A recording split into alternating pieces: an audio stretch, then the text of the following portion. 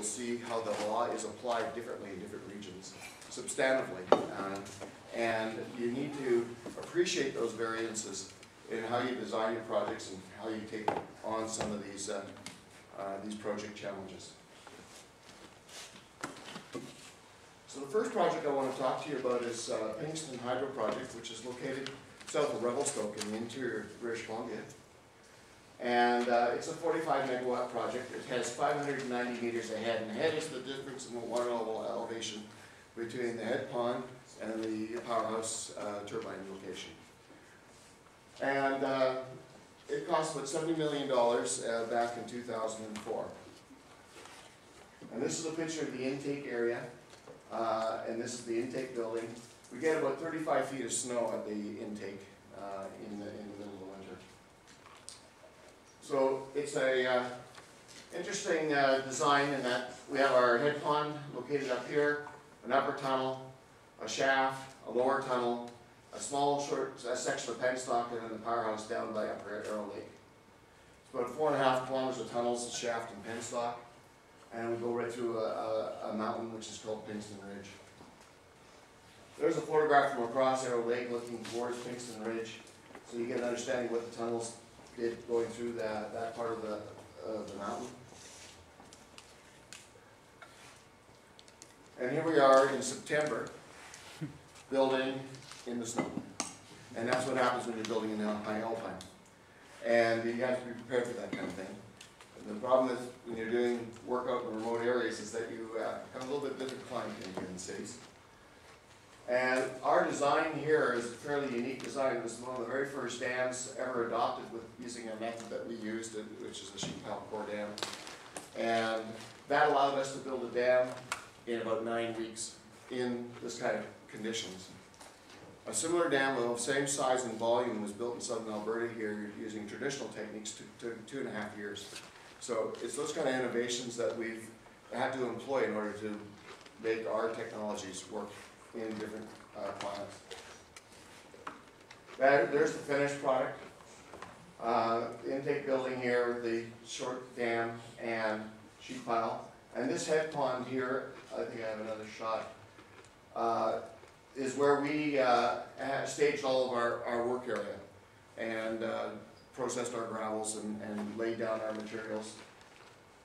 And then that became the interior of the, of the head pond.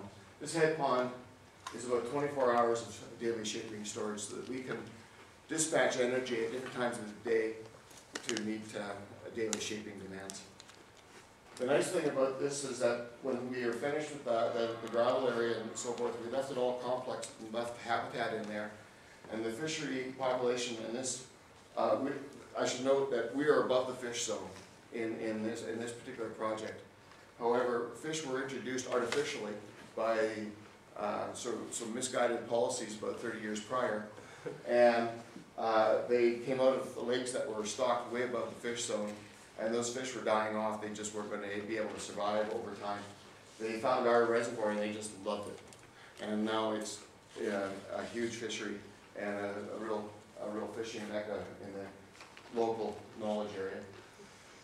So this is what it looks like in the wintertime, and, uh, normally we don't put buildings on our intakes, but because of the high snow loads that we get in this area, and for operational purposes, we, we decided that would be a good idea.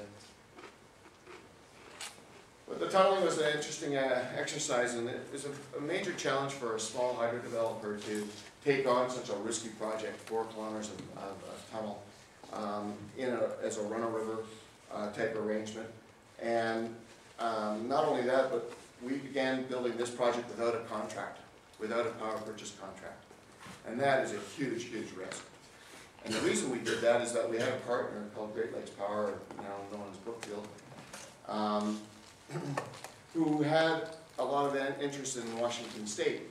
And our proposal was that we were gonna sell our power to the states if BC didn't want it. Uh, BC sort of woke up and they decided to give us a contract halfway through construction. So, sometimes you sort of build it and they will come, kind of business. Seventy million dollar gamble.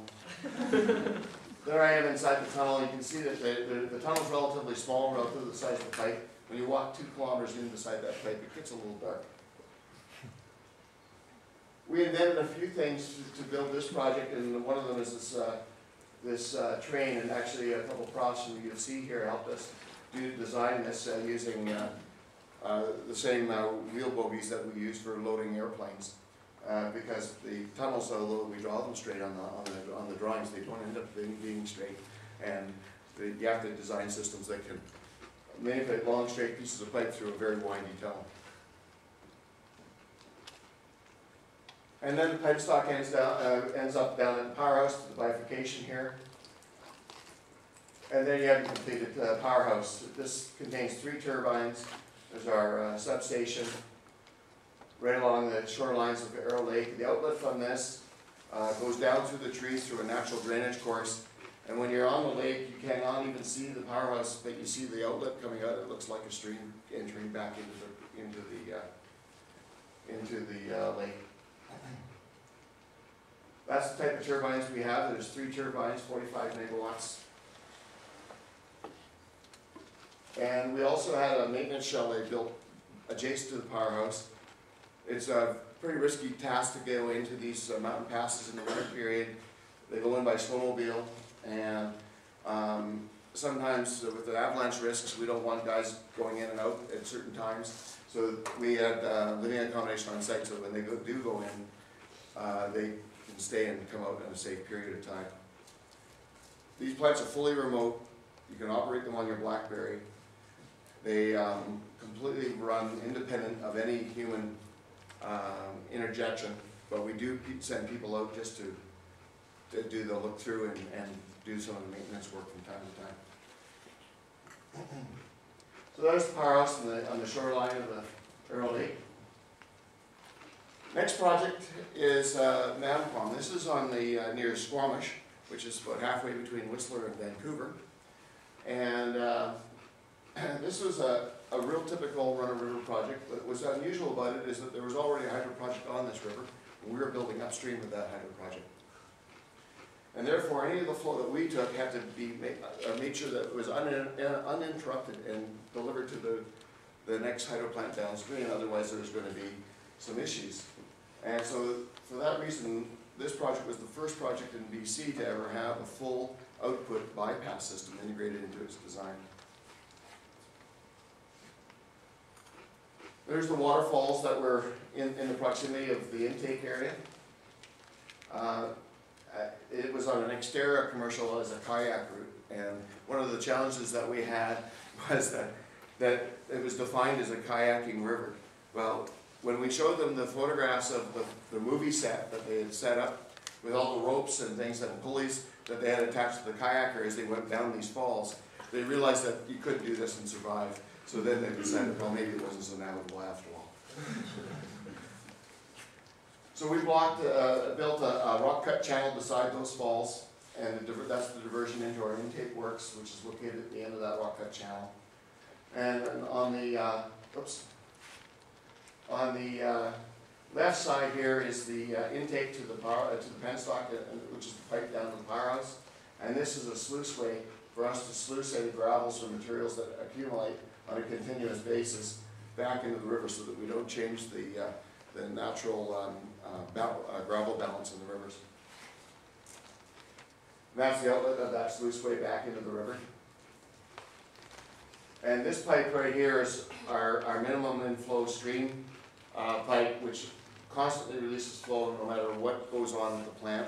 We always have a minimum flow that's being released. This, this, at this time, we're doing a test, so that's not operating at full output at, at that time. And this is the weir that we ended up putting across the, the rock, uh, channel that was there, and with a, this is a rubber dam, which, uh, we use a lot in the hydro industry to, uh, regulate, uh, flows out of the head ponds for flood passage. You can see, there's a person right there, so get an understanding of the size of this. So when we call it small hydro, it's sometimes not so small. Again, we had a small tunnel in this one, that's a pretty short one, only a couple hundred meters.